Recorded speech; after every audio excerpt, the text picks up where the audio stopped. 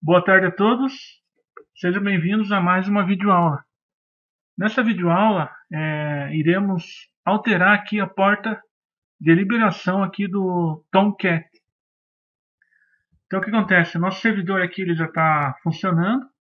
Eu vou acessar ele remotamente do meu notebook. Então aqui é o nosso servidor, ele já está funcionando. E eu já fiz a instalação aqui do nosso Apache Tomcat. Para que teu servidor web funcione com páginas Java, é necessário que você instale o Apache Tomcat.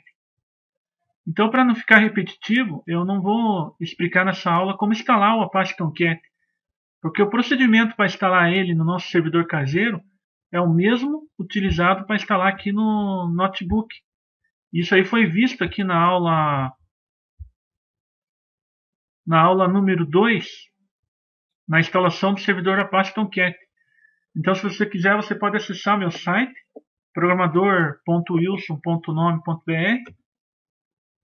Aqui em vídeo aulas, daí você coloca aqui Apache Tomcat.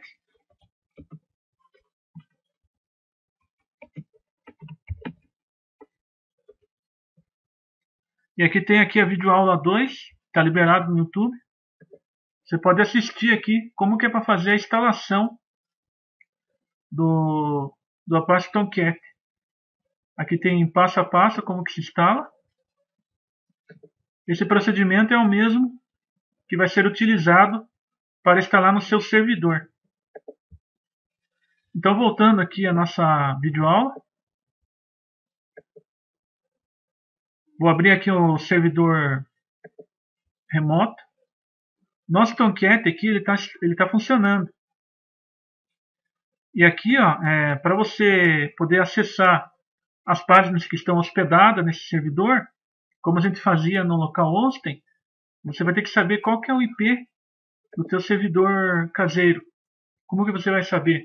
Você vai no iniciar, vai no prompt de comando do MS-DOS e digita ipconfig. Daí aperta o Enter, você vai ter o endereço IP do teu servidor. Com esse endereço IP do teu servidor, você vai conseguir acessar ele remotamente. Qualquer pessoa conectada à internet que digitar o número IP e a porta do Apache Tomcat, que é a 8080, ele vai conseguir acessar as páginas hospedadas no Apache Tomcat.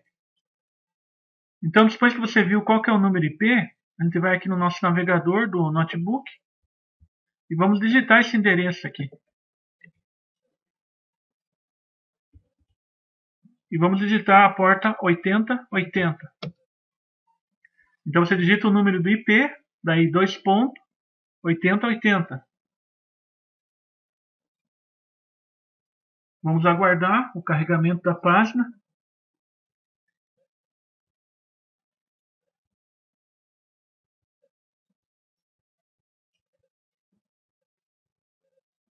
Então vocês podem ver, ó, é, não deu certo, ele não carregou a página. Isso acontece porque a porta 8080 do computador no sistema operacional Windows, ela vem bloqueada, entendeu? Ela vem bloqueada às vezes pelo sistema e ela vem bloqueada pelo aparelho, às vezes do, oferecido pela operadora. Então a operadora ela fornece um aparelho e essa porta às vezes vem bloqueada no aparelho. Então, por isso que você, digitando o número IP da máquina e digitando a porta, ele não permite o carregamento da página porque essa, essa, essa porta está bloqueada. Então, tem muitos vídeos na internet que explicam como desbloquear essa porta.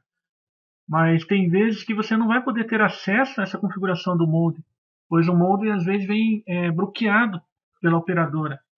Então, no teu caso, se você não quiser alterar as configurações do teu molde e não tiver acesso a essa configuração, tem uma segunda opção. Então aqui no nosso notebook, eu vou...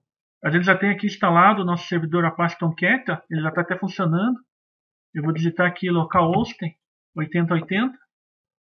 Então, como eu estou acessando da minha máquina, ele está acessível. Ele está funcionando, nosso servidor Tomcat instalado na máquina. Então você vai aqui no, no computador, C2 ponto, arquivos de programa, no Apache, Tomcat, e aqui a gente tem a pasta conf.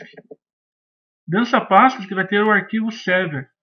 Ele que é responsável em direcionar a porta 8080 do nosso servidor Apache Tomcat.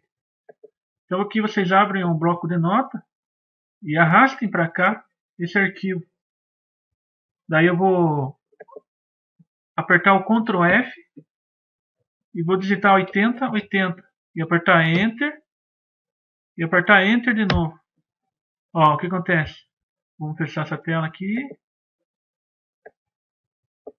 Então o que acontece? Todo, todo momento que eu digito 8080, ele irá redirecionar aqui para a porta 8443. Então o que você faz? Você pega aqui e altera essa porta. Você vai ter que escolher uma outra porta que não seja bloqueada no seu computador. Então tem várias opções. Você pode colocar, por exemplo, 83, 84, 85. Você pode escolher uma porta onde teu, teu aparelho não esteja bloqueando, teu modem não esteja bloqueando. Então você altera esse aqui, daí você vai ter que salvar ele. E depois que você salvar ele, você vai ter que parar o serviço do servidor e reiniciar o serviço para que as configurações sejam validadas.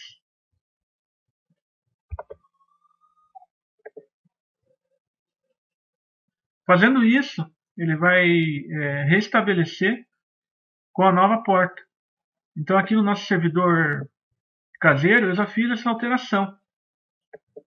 Então se eu digitar outra porta, se eu vir aqui por exemplo no meu navegador, digitar o número IP da minha máquina.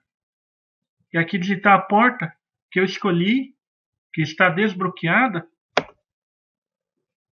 eu consigo acessar aqui o meu site, meu servidor caseiro, via web, ó, sem restrição nenhuma. Então esse aqui que está rodando aqui, ó, são páginas que estão hospedadas no meu servidor. E isso aqui pode ser acessível de qualquer computador conectado na internet.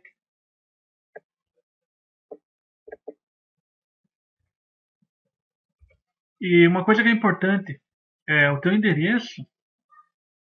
Geralmente é um endereço dinâmico, ele está sempre alterando. Ele não é um endereço fixo. Tem algumas operadoras que até fornecem. Então, como o teu IP está sempre alterando, pode ser que ao reiniciar o modem ou passando algum tempo, esse número IP ele altere para outro número. Então não adianta você fornecer esse número para que as pessoas encontrem você na internet. Daí você tem outros recursos para fazer isso. Daí essa, essa, esses outros recursos eu irei estar explicando nas próximas aulas. Então, nessa aula aqui a gente conseguiu atingir o nosso objetivo de acessar nosso, nosso servidor remotamente, via internet. Então agradeço a todos que assistiram o vídeo. Até logo.